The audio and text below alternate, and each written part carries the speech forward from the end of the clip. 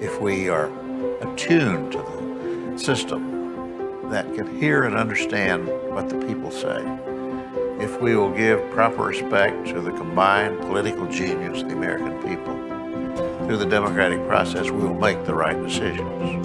The Howard H. Baker Jr. Center for Public Policy honors the Senator's legacy of civility and integrity in public service by providing a nonpartisan forum for civic engagement and scholarship.